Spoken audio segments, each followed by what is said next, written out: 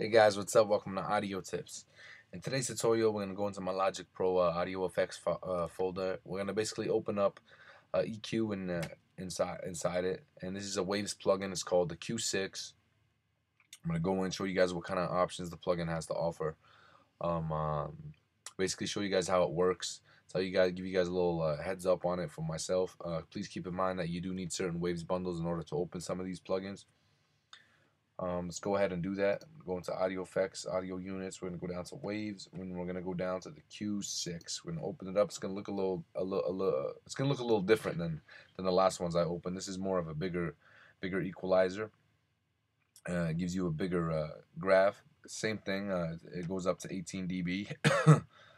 Uh, gives you the options of six knobs to sweep the fr frequency spectrum with, and it, and it, it, does have the full scale from zero to 21,000, 22,000, whatever it is. Uh, you got your uh, you got your buttons to highlight if you want uh, the button active. If it's highlighted yellow, that means it's active. Got your inputs on the left, your output on the right, and it basically works the same. Go ahead and try it out as an equalizer. It really cleans up the vocals, and it's really, really great. This is the Q6. I uh, hope you guys enjoyed and learned something new, and thank you for watching, and please subscribe.